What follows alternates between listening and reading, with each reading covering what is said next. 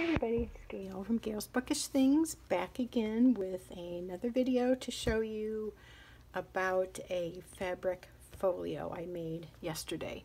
I have been wanting to purchase some leather folios for a few of my Bibles so that I can, um, I don't want to say be rough with them, but be not as careful with them because I have them in my Ikea cart and I put them in and out of the cardboard sleeve that they came in and I kind of wanted to have something a little more nice to look at. So instead of buying a leather one right now, because I'm not sure where to buy from, um, uh, anyway, yeah, that's another whole story. I've looked around on Etsy and seen some, just not sure. And I thought, well, I'll try making a fabric one. I'll consider buying one later because I have a couple more Bibles I use for different things that I would like to have a cover for. But I also thought if I can make one with fabric, maybe I could try to buy leather and make one.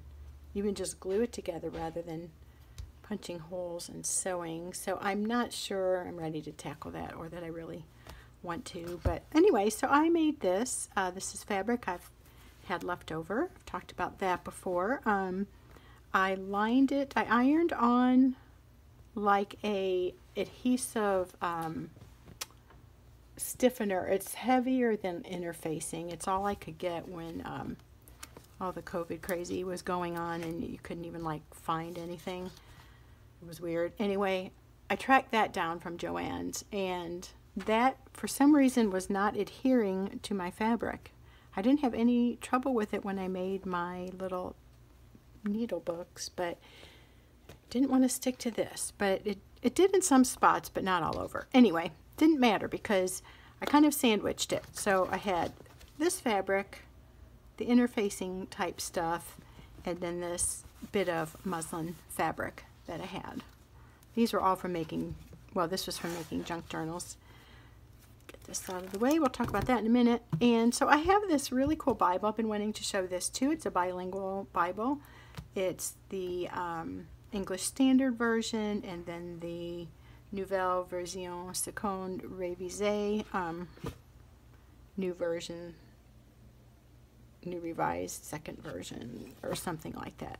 Second new revised version. I don't know. I forget how to do all the adjectives. But anyhow, this has been super cool because I've been wanting to brush up on my French. So um, I read my Bible every day. So I thought some days I will read it in English and in French. So, for example, the classic verse of all time For God so loved the world that he gave his only Son, that whoever believes in him should not perish, but have eternal life. And then you go right next to it, I mean, just about right next to it, it has it in French. So that helps me remember the things I learned in high school and college. It kind of brings those things back to the forefront of my brain. And again, I have got to review the tenses because I know that I'm supposed to know them, but I can't remember how to form them. So this kind of helps. I do need to get a French dictionary though because there are some verbs, quite a few, that I'm not remembering. This has been really fun though to compare and it kind of helps me remember to like how would you call it the syntax like how they put words compared to how we put words. They would put adjectives, well, you know, some are before and some are after the nouns, but we would always say like, oh, anyway, we don't need a French lesson. This is about this. So this is good. It's helping me. Let's just say that. I got this off of Amazon, by the way. Um, it's printed by the Canadian Bible Society and I want to say it was around 30 or less. I was glad to do that because I was super happy that it was the English Standard Version, which is something I use all the time. So I made this by basically getting a strip and sandwiching it like I told you. Um, the first step was, though, to just use this green, and I folded the green over here so I can make like a folio pocket and then I lifted it up on the spine and then I went down and folded it over so I had the dimensions without measuring them. And I was super careful to make sure it was big enough on the top and bottom. I wasn't planning on sewing and flipping it inside out, so I didn't need to leave room for extra bulk. I was just going to do a fine or close edge around. So I stitched it as one big flat rectangle, all three pieces together. Then I folded it over. Well, um, stitched it as a big rectangle, then went back and zigzag stitched it because there were a few places where it got a little too close. Um, the three layers were not staying together. I had them clasped or clamped together. I use these things a lot of times. They're really easy and you don't poke your finger. Super nice. Um, anyway, the fabric still just tends to slide around, even though my sewing machine is supposed to help with not having that top layer slide forward. It still did some. So all that to say, I had to go back and zigzag. So I did a straight stitch all the way around, kind of held it together. Then I went back and did a zigzag. And I just happened to have this deep reddish color as my um, thread. And then the bobbin thread was green I wasn't too worried about it. I just wanted to get it done. Mostly I wanted to see how this would work. I would like it to be a little heavier duty. I think that's why I don't always prefer fabric things over leather. I like the substance to it, especially when it's a soft back book. A nice stiff leather would help support this better, I think. But this was primarily experimental, and I think it turned out okay. I cut out these hearts today in this brown based fabric that I really like. Whoops, here we go. And I put one on the front. So just as a decoration. Now the funny thing is, I was starting to say it in my earlier video today, is that I glued on strips, random strips. I had a piece of Rifle Company ribbon, whatever that's called, and then then I glued a strip of this brown on and it just looked really stupid. So I'm like, oh, no, I can't stand it. So fortunately, it was wet enough still I could pull it off. And then I decided I liked it just plain. I played around with putting some fabric squares, but the greens didn't quite mesh. But I kind of liked the little heart. I'm not that into hearts anymore, but for this, I think it makes a nice little accent. And it's not it's not perfect. You can see the shininess. I, I put fabric glue over the top to kind of keep it from fraying. Left a little bit of a glossy finish, which I would probably rather not have. And then you can see right here, there's a little fold in the fabric and there was one here.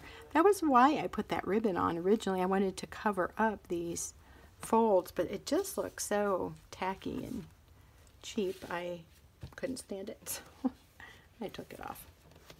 And like, who's to care, right? So, oh, yeah, another thing I did was, so when I finally got it all done, I was so excited. Everything was working fine. This bottom edge wouldn't allow the flap to go all the way in. I, I did glue the top and bottom of these, by the way, folded it and then glued those edges. I didn't try to sew it again. I didn't want too much bulk building up at the seam there. Um, so it worked okay on the one side and the top of the other, but this bottom edge was too narrow. I know sometimes people will cut their book to fit in, but I didn't want to cut this Bible because I don't want it to start falling apart. So what I did was I took a little piece of fabric and circled or went around from the front here to the back or the back to the front and just glued that on and it gave me a little more depth here at the bottom. So you can see it here and can't see the stitching. I could probably go over it with my machine just for the illusion, but this is just all a practical thing for me. So not being perfect doesn't really matter, but if I wanted to have that all balanced out, I could do that. So now it's kind of sticking on the glue. There we go. I think I had a little bit of that stuck together. Oh, so you know one thing though, I did kind of think of just leaving this bottom flap open and not looping around that fabric to extend the seam. I thought that could actually make it easier to get the Bible in and out, so it was sort of a mixed blessing that I did that, but I decided that would probably end up bugging me or it would feel incomplete, so I went ahead and added that little extra. Let me, um, I'll put this, I'll stop this a minute and come back when it's all put in so you don't have to watch me struggle with that. I will probably pull this out a little bit so I can put both flaps in at the same time. I will be right back. Okay, here we go. I got that in. It's a little bit tight. I was thinking it wasn't quite going to work, even though as I was doing it, I checked it a few times. It kind of needs to be shifted around just a little. Seems like it's maybe slightly pulling on this front cover. It's poofing out. But I will mess around with that. You know, it worked out okay. I got some glue there, though, and that's bugging me. I'm going to need to put a sticker there. But you can kind of see it's very, very thrown together, but it was a fun little distraction project again with all the other things I've been making. Just felt like being creative. Thought I'd try this. And it turned out, I think, okay for a makeshift project. I, I like it all right. I'll try it out, and if, if it is not supportive enough, it doesn't feel like enough of a cover to keep this Bible in good condition, I may, I may uh, buy something or try out some vendor if anybody wants to recommend a Bible case person. Um, I'd prefer to buy from somebody who hand makes them. So if you know anybody that deals in that kind of product that you can recommend, please comment below. But anyway, there's another project you can do. You can make a journal cover, you can make a folio for your um, traveler's notebook inserts, which, by the way, I want to show you real quick. I just bought these Kanso Sashi traveler's notebook, regular size notebooks from Jet Pens. This is the cream paper and it's 52 Tomoe River 52 GSM. It's a nice cream color and I watched a little video that they produce. Uh, this is a copper background and I found out that this these top two characters mean it was either simple or simplicity, something along those lines and that's what Kanso means. So it's a nicely made stapled journal. I got these smaller ones. I like to do, um, I kind of do, I don't know, I guess a book of days is what I call it. But so I might say, met somebody for lunch today, or we worked on the house, or went to the park, you know, just kind of a little more light summary of what's going on or a few thoughts, but it's not really something I go super in depth in. It's just more like a little record of what's going on in my life or in the family around me or the extended family. So I wanted to stock up on these. I really like the 52 GSM. I've enjoyed all Tomoe River paper, but I like the fineness, that light feel of the Tomoe River 52 GSM to Tomoe River. So these came as a set. I have my shipping notes in front of me off screen, but I don't remember what the price was. But if you go to jetpens.com uh, and look up Tomoe River Kanso notebooks, regular size, you'll you'll come across these. So here's what I've heard. Now I was watching Helden Writes and she mentioned this. So I inquired at Lochby Journals. Um, I don't know, that might not be their name, but lochby.com and the, the man there who heads up the company or started the company, Chris, I asked him, have you heard about Tomoe River paper going out of business or ceasing to be produced? And he said, unfortunately, those rumors are true. So what they, uh, what I think it's Marley, Marnie, Marley on Helden Writes, she said that she heard it's because it was getting too expensive to manufacture. it's made from a certain tree or a certain something somewhere and for some reason there's a shortage on that or it's just not as cost effective to produce. I don't know for sure the reason she touched on that. Um, so I was kind of like panicked because, I mean, not really, but kind of feeling like, oh man, because it's really easy to get a hold of Tomoe River paper. And it's a little more expensive, but it's not a deal breaker. So I buy it because I love the experience of writing with it with my fountain pens. Here's an empty pen. And so I was thinking, you know, writing with a fountain pen on cruddy paper is just no fun. When you write on a nice paper, whether it's Tomoe River or Rhodia or Clairefontaine, I mean, there's the Apica or Epica, however you say that one, um, the Cosmo Air Light and the Tora Next there's lots of selections, but if you don't have those, I mean, you have your favorite. If this is your favorite, you might need to start considering another. And he said the rumors were true, and he's he's working on stocking up on it and coming up with a second alternative. So he informed me. So um, I have been ordering just a few, and I, I did show these, but here's a Cosmo Air Light Blank. I got it in the B6 Slim as well. Talked about that. I thought I was getting dot grid.